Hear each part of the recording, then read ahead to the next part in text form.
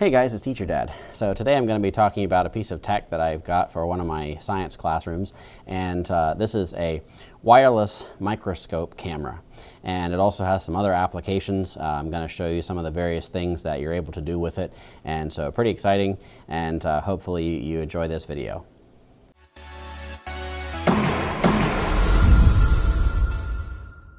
So this camera that I'm going to talk about today is the uh, made by a company called Moticam and this is the uh, X2 model and so I'm going to show you what all is in the box and some other features and things that it contains.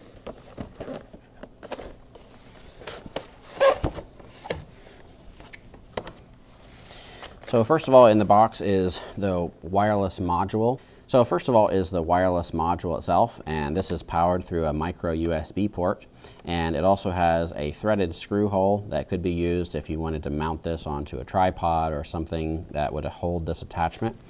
Inside the box we have several other things. First of all is a power adapter, and it does come with a couple different power modules depending on where you're located. So I'll be using this here in the United States. Uh, this is just basically a USB powered device. So one of the nice things about this camera is that it can be powered using any traditional USB port. So if you were taking this uh, even out in the field, this could be used completely uh, wirelessly and it generates its own Wi-Fi signal for the device to connect to it. So I'll talk about that in a moment. But you could literally just plug this into the power from a laptop and use that to power the camera. Then you have the lens that attaches to the camera. So uh, we'll go ahead and get that connected. And so this just screws onto the device.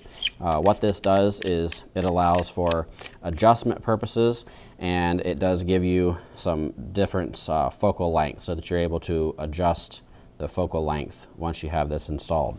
A couple other things in the box. Um, there are two different mounts um, and they're basically just two different diameters of the interior portion of these and it allows you to attach these to various sized microscopes.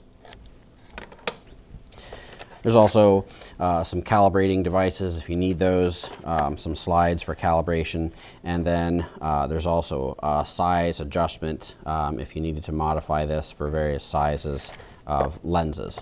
One other thing that's in the box is this device here, and uh, this is interesting little device because what this accomplishes is this allows you to, be, to screw this onto the bottom of the lens itself and now instead of using this attached to a microscope um, you can use it just for viewing things that are kind of very closely magnified and so that's another nice feature about this as well. It's not just used for microscopes but it can be used to show really close-up versions of various things that you might want to look at. So first of all, uh, we'll start off with that since I uh, already started to screw that on. And so this screws on to the lens and then I'll go ahead and get this powered up. And then you can see here, once the device is powered on, um, it will have a little blue indicator light that will begin to blink. This is indicating or telling you that uh, the Wi-Fi signal is being broadcast. So what I'll do here is I'll show you what's happening here. And you can see that once the Wi-Fi signal is uh, displayed here, then you would connect to this. And when you first get this device, you'll have to use the wireless key that comes in the uh, packaging. So there's an app that you must use uh, with this particular camera. The name of the app is Moti Connect. So you download that app onto the various different devices that you want to display the image on. So here I have a couple different things to show you the magnification that's possible with this camera. And then there you can see uh, the head of a match. So you can see that that is fairly well magnified. So there's a penny.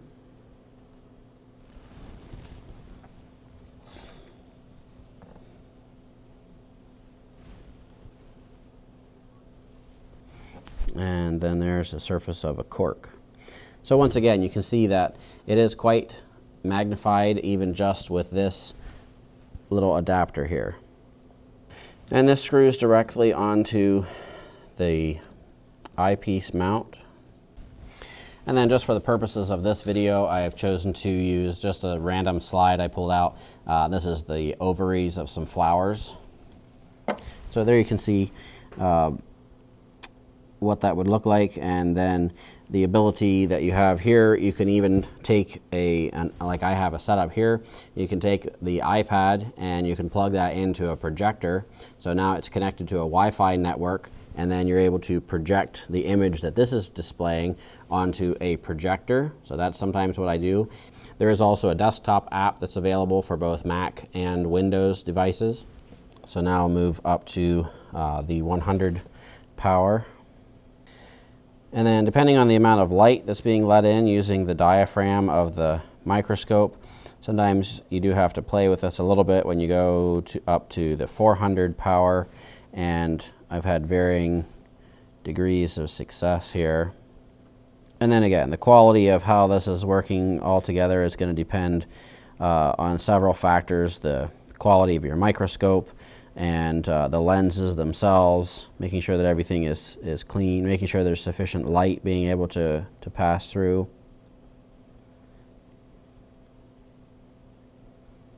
Uh, this, I believe, runs, I think it costs around uh, $300, somewhere in that range.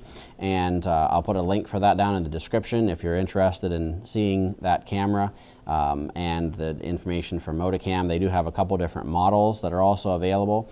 And so, again, you can see that information down in the description. So if you have any questions or comments about this device, please sure, be sure to leave those down below as well. Um, if you like this video and want to see more like it, click that subscribe button up here. Uh, if you want to see the last video, you can click over here. Um, or if you want to see what YouTube thinks you ought to watch next, you can click down here. And so thanks for watching, and we'll see you again next time.